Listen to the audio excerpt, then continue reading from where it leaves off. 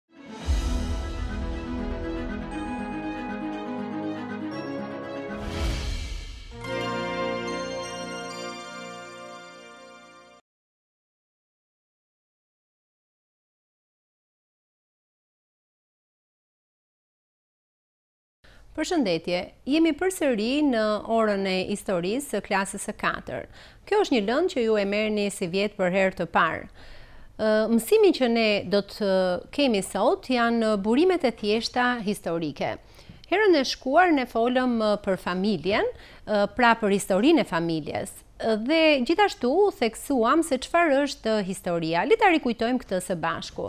Historia quhet ajo shkencë e cila merret me regjistrimin dhe analizimin e ngjarjeve që kanë ndodhur në të shkuarën dhe ato që ndodhin në të tashmen. Pra kjo është përkufizimi, të themi, i i historisë, pra e cila ka ka lidhje me ngjarjet që shkojnë që kanë ndodhur në të shkuarën, por dhe me ato që ndodhin në të tashmen. Kur ne folëm për historinë e familjes, ne theksuam që historia e familjes është e bazuar në disa burime, të cilat mund të ishin foto, video, dokumente, sende të ndryshme, ë, pra, dhe historitë në fund fare të cilat tregohen nga gjyshrit apo stërgjyshrit dhe që trashëgohen nga njëri brez në tjetrin. Gjithashtu ne thamë që një nga burimet ishte dhe trashëgimia, pra gatimet që Kishim në familjet tona të cilat ishin të veçanta. Pra, të gjitha këto burime ë përbëjnë historinë e familjes. Kjo ishte ajo që ne thamë në mësimin e shkuar. Personi i cili merret me shkrimin e historisë është historiani. Dhe ai i cili shkruan historinë ka disa detyra shumë të rëndësishme për të shkruar historinë. Cilat janë detyrat kryesore të një historiani?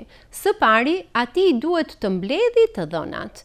T'i mbledhi këto të dhëna dhe t'i vendosi sipas një kronologjie të caktuar. Pra e vendos ngjarjen sipas kronologjisë së saj, pra se si kanë ndodhur ato hap pas hapi. Hapi tjetër është analiza e të dhënave. Pra, një historian, pasi ka bërë kronologjinë, bën analizimin e këtyre të dhënave që ka mbledhur. Dhe së fundmi është shkrimi i ngjarjes. Një nga gjërat kryesore që duhet pasur parasysh është që historiani nuk mund të japi mendimin e tij, por ai duhet të bazohet totalisht tek kush? Tek të dhënat të cilat ai i ka mbledhur, pra tek ato burime të cilat Janë burime të cilat ai duhet t'i respektojë, por duhet të zbatojë hap pas hapi të gjitha këto që ne thamë. Pra, të mbledhi të dhënat, t'i vendosi sipas një kronologjie të caktuar, t'i analizojë këto të dhëna dhe së fundmi të bëjë shkrimin e ngjarjes.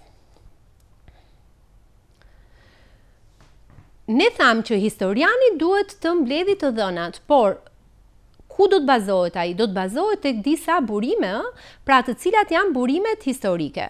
Ato mund të jenë dokumenta të shkruara, mund të jenë foto, vidja, video, mund të jenë libra, filma të ndryshëm, të cilat pra e ndihmojnë atë për të dhënë, ë, për të shkruar pra historinë. Por, burimet ne i kemi të ndryshme. Pra kemi disa lloj burimesh historike. Së pari, kemi burimet materiale, të cilat janë sende, objekte të përdorura në kohë të ndryshme, ë? Pra, gjithashtu, këto janë, mund të jenë vegla pune, armë ose monedha. Ne kur shkojmë në një muzeum, kemi vënë në re se aty kemi materiale të ndryshme, të cilat tregojnë pra se si kanë jetuar njerëzit në periudha të caktuara dhe këto përfaqësohen pra në pavione të ndryshme në muze, ku janë të përcaktuara, pra ku i, cakto, i përkasin një periudhe të caktuar dhe ne nëpërmjet tyre krijojmë një ide se si kanë jetuar njerëzit. Pra në bazë të këtyre burimeve materiale, këtu janë dhënë disa foto të tilla. Pra këto janë disa poçe të cilat kanë janë përdorur në një periudhë të caktuar të historisë. Pra të gjitha këto foto tregojnë për burimet materiale. Këto janë burime materiale, pra të cilat përdoren për të treguar historinë e një periudhe të caktuar. Gjithashtu kemi burimet e shkruara. Këtu hynë letrat, dorëshkrimet, gazetat, librat dhe këto burime së bashku me burimet materiale i japin një pamje më të qartë të së shkuarës. Pra, duke grumbulluar burime materiale, duke grumbulluar burime të shkruara, ai që e shkruan historinë, pra e shkruan atë sa më mirë, pra duke u bazuar në këto burime. Gjithashtu kemi burimet figurative, ku mund të hyjnë, vizatimet, pikturat, skulpturat, fotografitë, filmat, videot etj.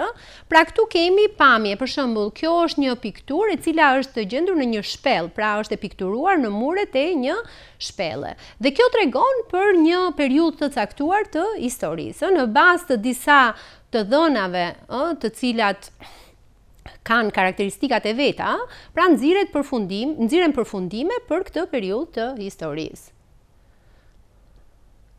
Gjithashtu kemi burimet gojore. Ato burime janë rrëfimet e njerëzve që i kanë jetuar ose i kanë parë këto ngjarje. Këto burime japin të dhëna të rëndësishme për historinë, sepse personat të cilët kanë qenë prezent pra në ndodhinë e ngjarjes mund të japin informacione shumë të sakta. Por një nga të meta të themi e këtyre burimeve është sepse me kalimin e kohës ato mund të zhduken ose mund të harrohen ose duke u trashëguar nga njëri brez në brezin tjetër ato mund të ndryshohen. Pra nuk kanë më vërtetësinë që kanë pasur në fillim.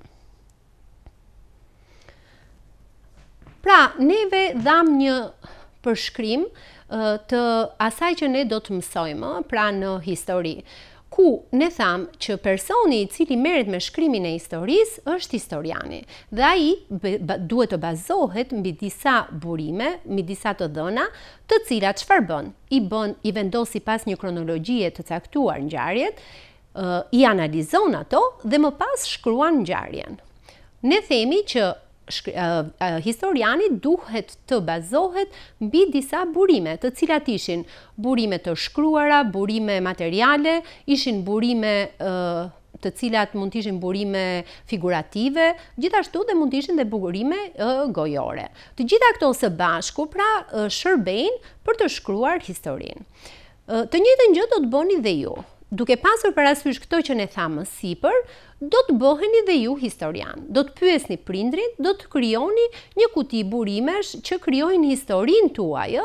Pra, duke pasur, duke marrë të dhëna, të cilat mund të jenë foto, mund të jenë video, mund të jenë vizatime, mund të jenë rroba të cilat tregojnë për një pjesë të historisë tuaj, Mund të jenë shumë gjëra sende të cilat ju mund të keni në familje dhe në këtë mënyrë ju mund të krijoni pra një kuti me disa gjëra të cilat janë shumë të rëndësishme dhe krijojnë historinë e historinë tuaj, pra historinë tuaj personale. Dhe këtë mund ta bëni duke pyetur prindërit. Sigurisht aty mund të ketë edhe histori të cilat prindërit tuaj mund t'ua tregojnë dhe ju mund t'i shkruani dhe t'i bëni pjesë të kësaj kutie